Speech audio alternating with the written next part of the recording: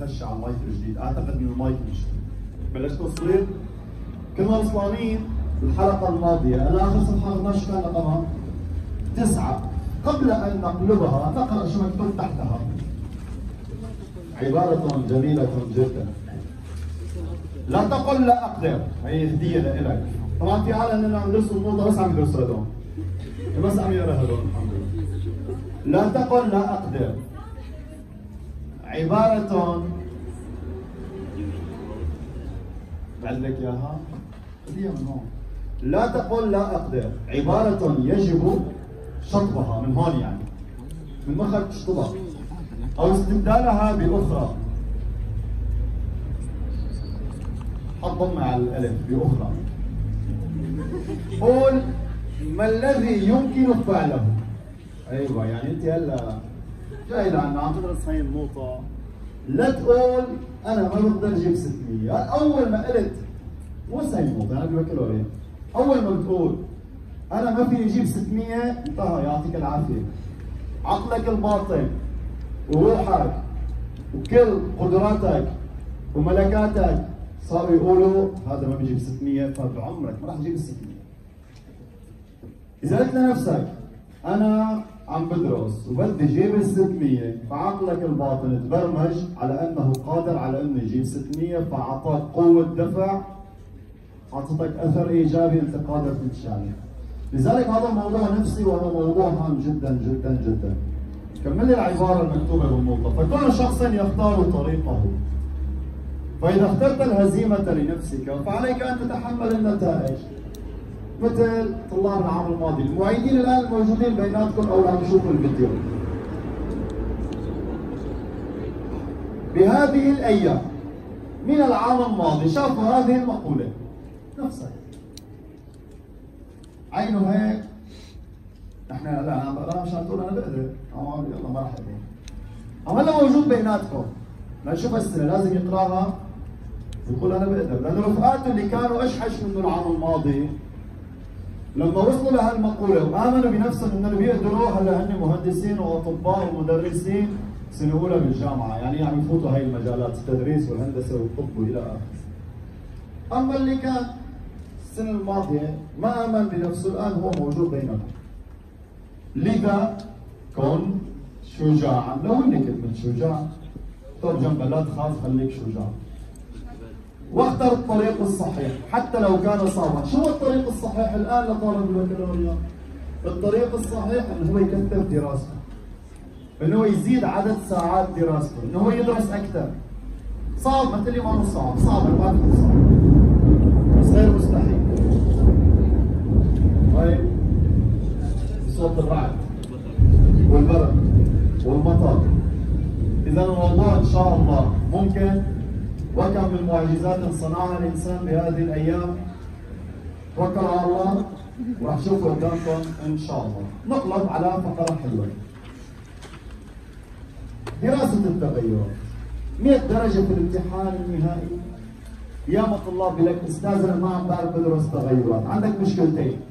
أول مشكلة إنك ما بتعرف الخطوات. أنا اعطيك اياها ثاني مشكلة إنك بتعرف الخطوات بس ما بتعرف تطبقهم. هون كانت مشكلتك يا ما بتعرف تشتق ونحن اعطينا قواعد الاشتقاق وعم عن على طول بالمناسبة اللي شايف حاله بالمرة صفر بالاشتقاق خليه يحل هاي المشكلة يفوت على اليوتيوب يكتب قواعد الاشتقاق فارج دقل يحضر مدة 20 دقيقة يعني حل هاي المشكلة وارتاح منها يا اما بتكون مشكلتك بالنهايات بالنهايات والنهايات إحنا فصلناها في جلسة كاملة كانت مدتها ساعة ونص ويوم ثاني اخذت مننا ساعه يعني ساعتين ونص نحن عملنا كل نهايات أغلب المنهاج. والامثله اللي رح نطرحها كمان في نهايات. لذلك هذا الموضوع أنت لازم تواجهه وتحاول تحل مشكلة التغيرات. حتى لو ما بتعرف توصل للرسمة مثلا. على قليل النهايات الاشتقاق عليها علامة الجدول عليه علامة بس كل خطوة بتكتبها عليها علامة. نكتب على جنب خطوات دراسة التغيرات. واحد. الله. جنب المسألة الأولى أو على دفترك الخاص. خطوات دراسة التغيرات نمبر 1 نوجد النهايات عند الأطراف المفتوحة لمجموعة التعريف. نوجد النهايات عند الأطراف المفتوحة لمجموعة التعريف. number 2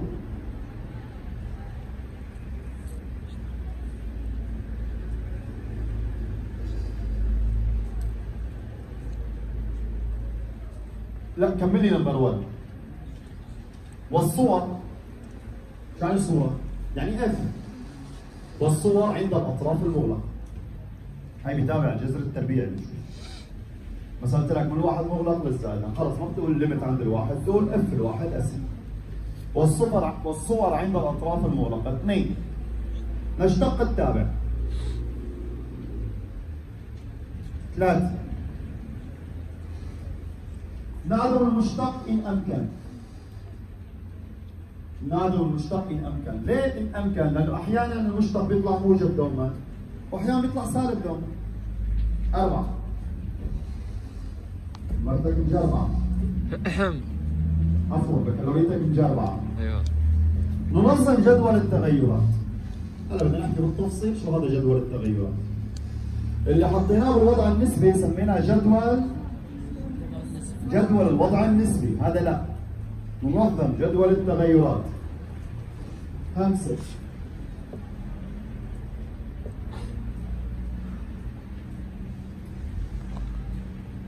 نذكر المقاربات والقيم المحلية.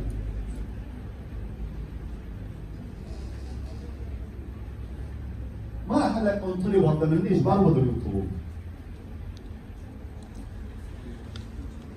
ستة نرسم الخط البياني انطلب إذا ما انطلب بلا نرسم الخط البياني انطلب ذلك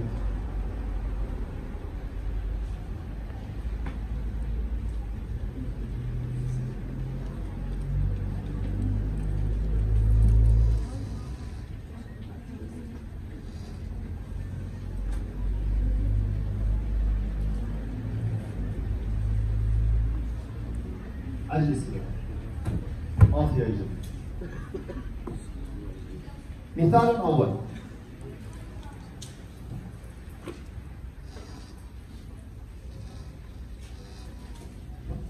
هذا عم احسن لك اطلع الاعزاء عشان ذكرى اليمين اعطينا المثال الأول إكس يساوي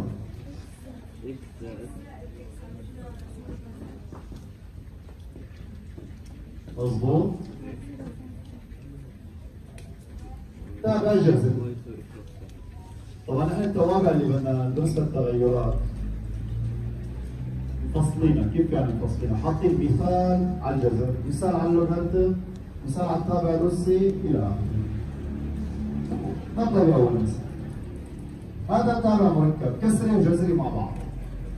مجموعة التعريف ار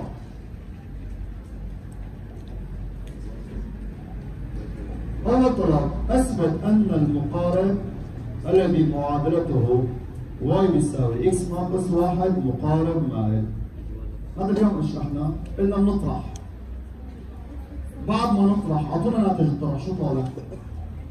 طالع أعطوني ناتج الطرح إذا f x ناقص y ده طبعا المقارب هو y بيساوي مين؟ الاكس بتروح الاكس لا. إكس ناقص واحد. إكس ناقص واحد. بتروح الاكس مع الاكس والناقص تنضرب بالناقص بصير زائد واحد. تقولنا مش طالع معكم إكس زائد إكس على تحت الجذر x زائد مربع زائد واحد زائد واحد. طبعا هذا الحكي انت لازم تكتبه بالتفصيل بس أنا مختصره هون. الاكس راحت مع الاكس بعتذر. كل عارف كيف؟ f x y لما طرحناهم طلع وين واحد يا أبني؟ واحد؟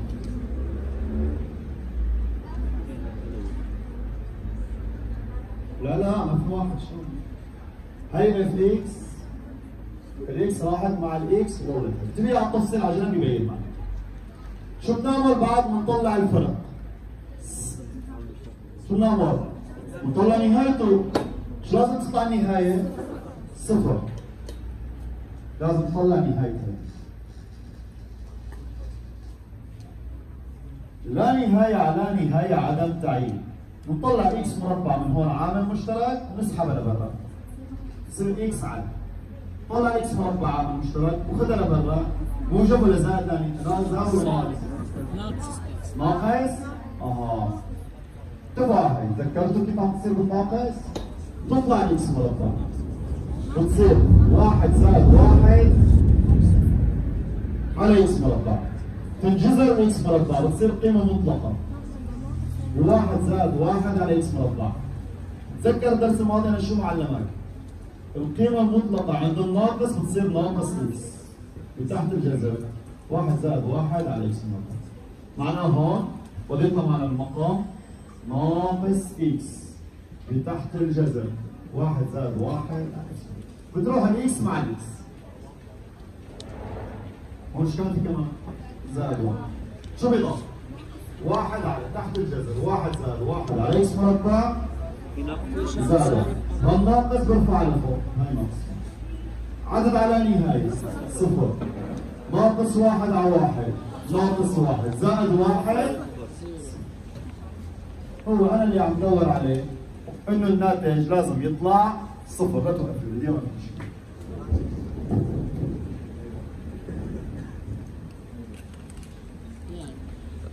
ما لا تنسى تحطونا like subscribe تكتبونا بالتعليقات وادعونا بالنجاح. معكم بلال خلاص ليس الكبس. يلا.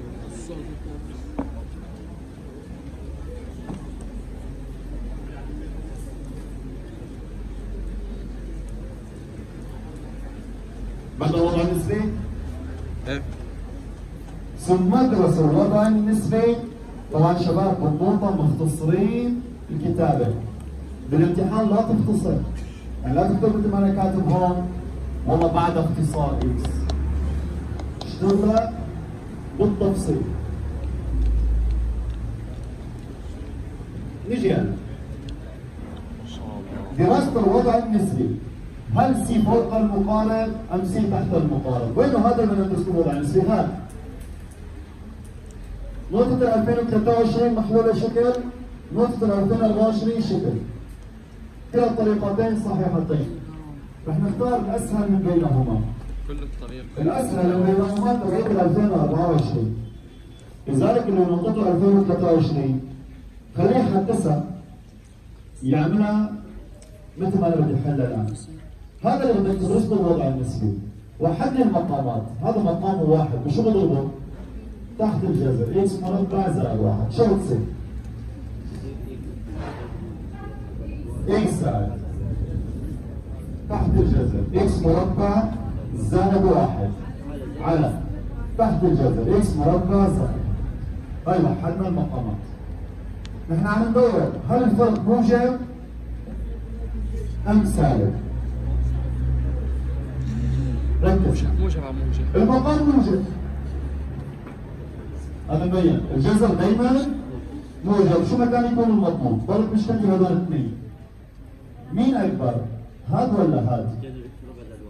جرب عدد اذا بتحط بدل x واحد واحد زائد واحد جذر اثنين وهذا واحد مين اكبر؟ هذا اكبر اذا هي قاعدة جذر ال x مربع زائد عدد موجب هي اكبر من x هي مبينه فهذا اكبر من هذا طب شو عم تساوي؟ وين عم تساوي؟ موجب لما يكون شغلتين جنب بعض بدي أعرف إشارتهم. باخذ اشاره الكبير. فبس صار موجب فموجب على موجب موجب اذا العملية بسيطة جدا. ومنه سي فوق المقارنه طبعا لأنه بس بدك تحط له القاعده بعيد إنه هي أكبر منه. هي اسهل طريقة لهذا التمرين ويوجد طرقا أخرى مثل منطقه 2013 بس هذه افضل أسهل. طبعا إحنا مشكلتنا بالتمرين ما كانت المقاربه بس كمان راجعنا المقاربه إحنا كانت مشكلتنا بالتمرين أن إحنا عم ندور ان إحنا بدنا ندرس التغيرات كم ندرس التغيرات؟ مصيبة تغيرات وشو نعمل لك هيك جايب لك إياها بالامتحان؟ مو هذا مو هذا يا حبيبي تدرس تغيرات هذا هذا اف إكس شو؟ ما فضلان يا حبيبي؟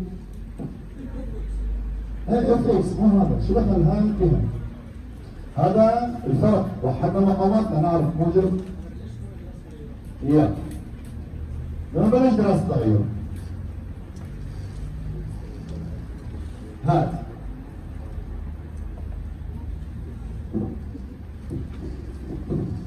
شو خطوة؟ يوجد النهاية نوجد النهايات عند الأطراف المفتوحة شو مجموعة التعريف؟ آه من ناقص لا نهاية ولا زائد نهاية عند الناقص لا نهاية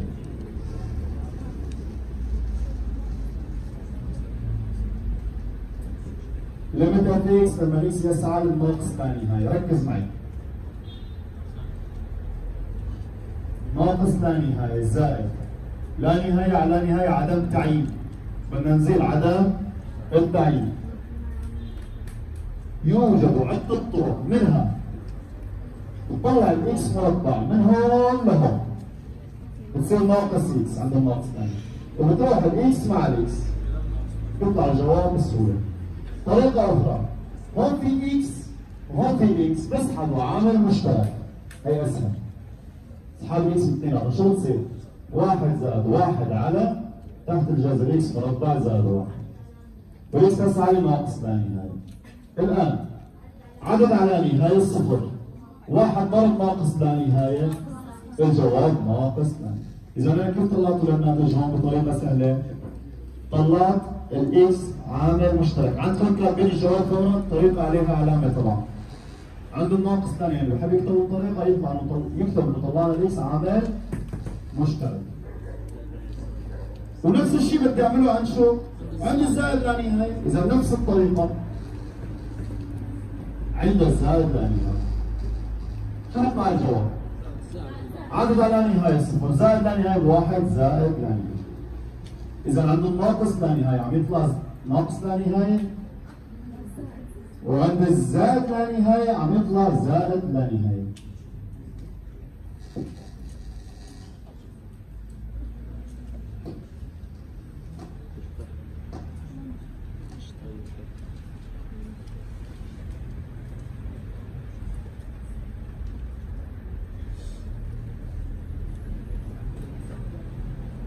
أول خطوة للتغيرات نرجع نتذكر. النهايات. من النهايات. ثاني خطوة. نشتق التابع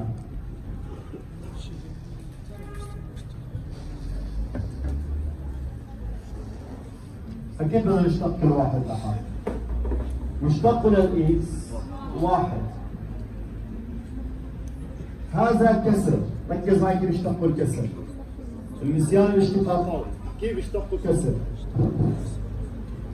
اف على جي هذا كسر. بيقولوا مشتق البصر بالمقام.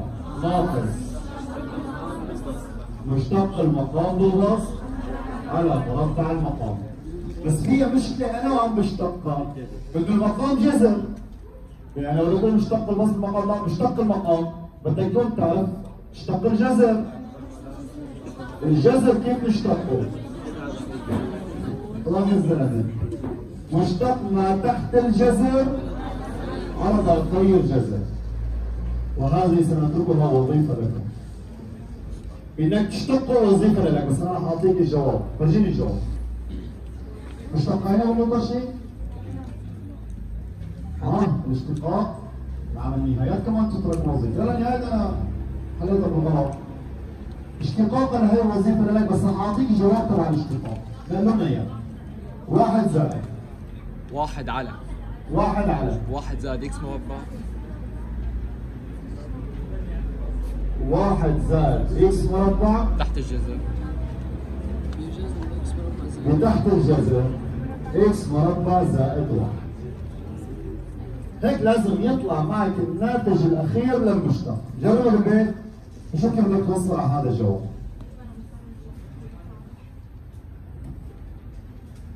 بعد هون البنات يبكوا.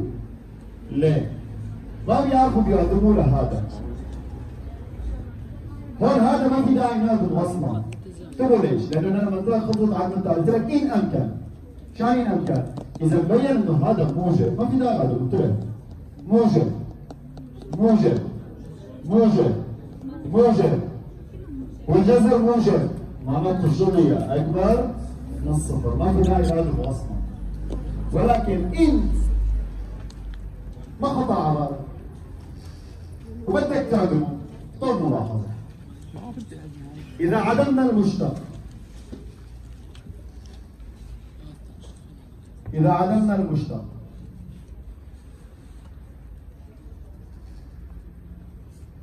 طلعت المعادلة مستحيله الحل يعني أنا عم بعدمها طلعت مستحيله الحل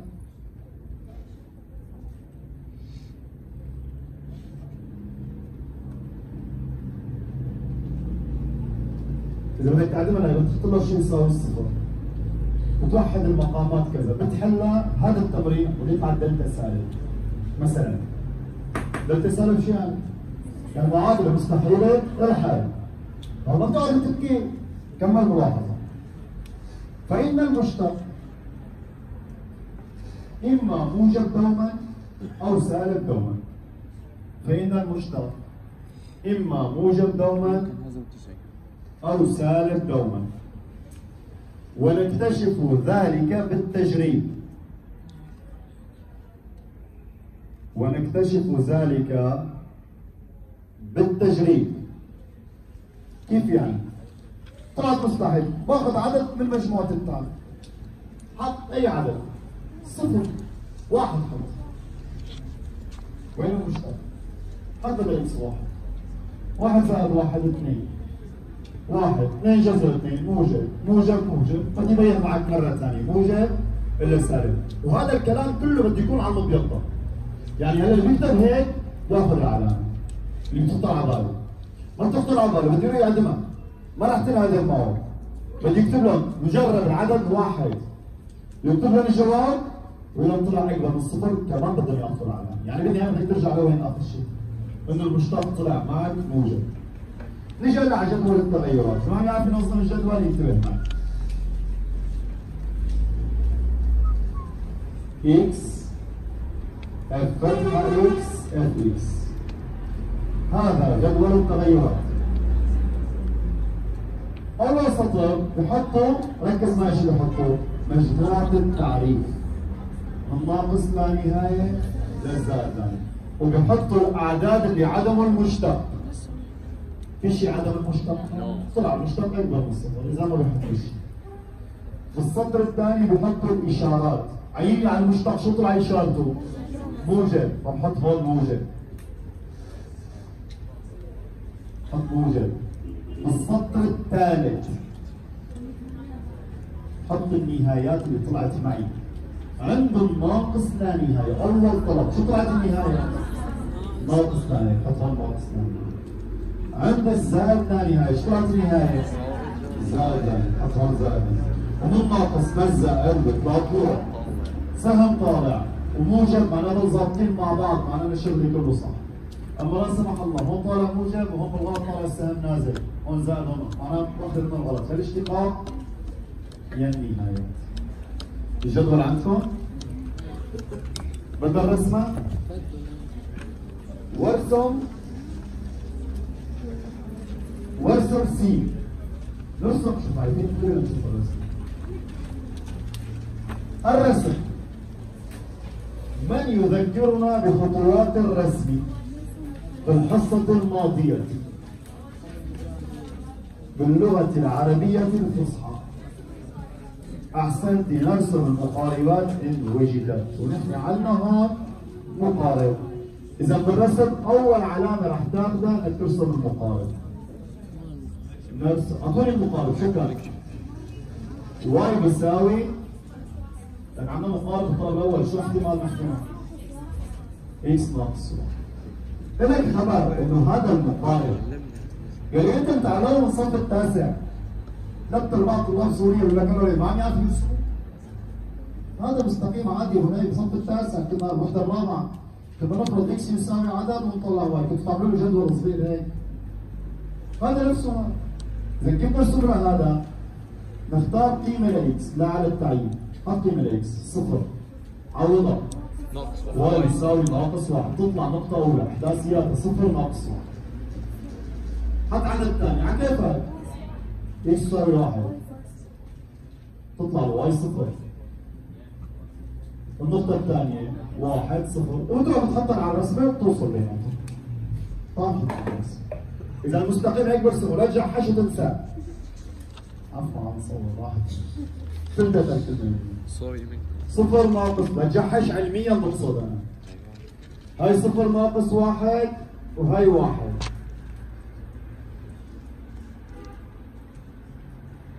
طبعا أنت كنت بتعرف ترسم بالتاسع. بس لما يخزي العين بعد ما أنت أخذت العامة بالتاسع فكرتك أخذت البكالوريوس والشهادات والماجستير والدكتوراه. اما بتاعتك موبايل أطول منك. أما هذا الموبايل غسل لك دماغك جيت على البكالوريا من السنة كل شيء تعلمته بالتاسع والحمد لله. الحمد لله. تدخيل الامهات نجي على الباب. خلصنا من المقارنه دور مين هلا؟ سنرسم الخط البياني للتابع أول خطوة. نوجد نقاط مساعدة للرسم. نسيتوا؟ يلا. النقط المساعدة.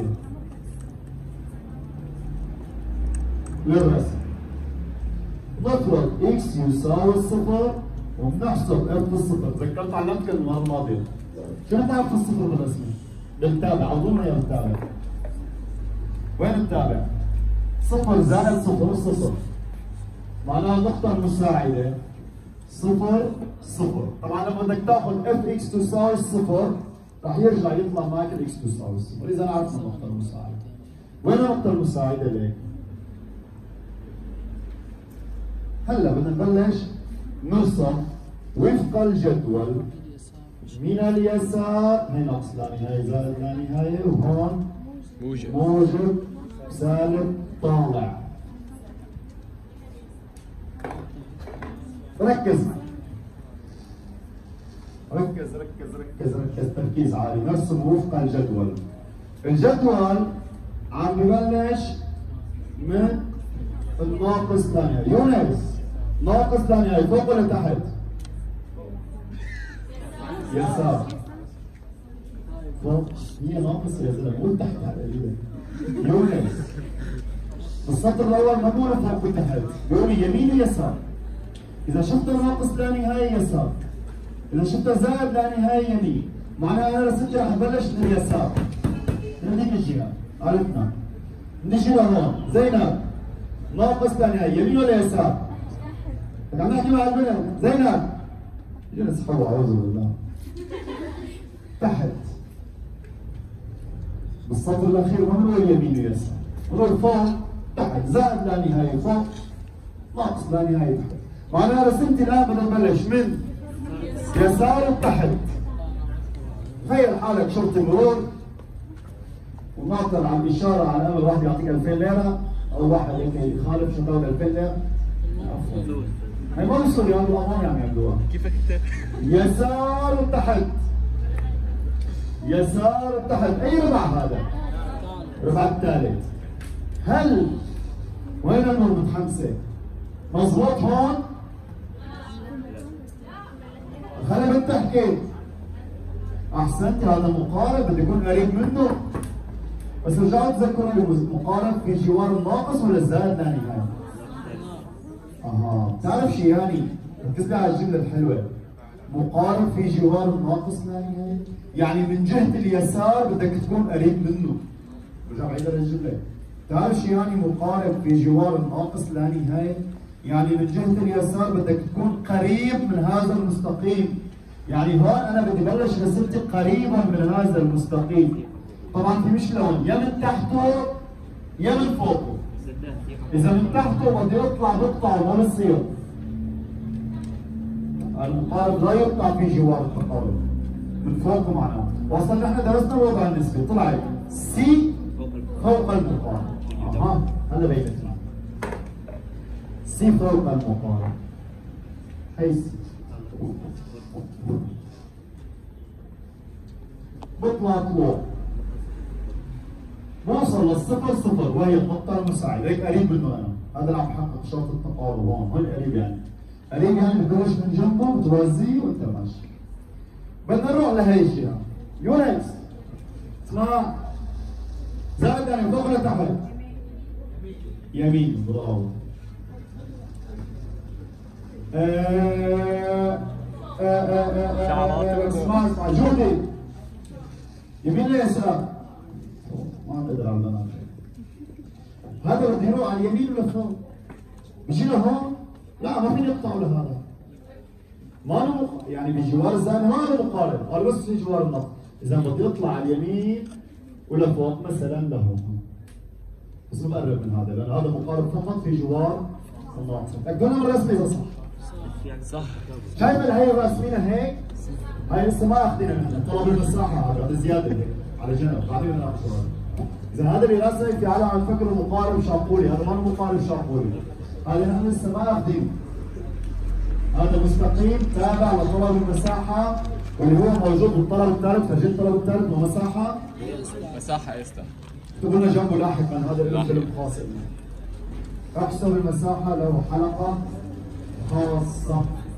احفظ التسجيل.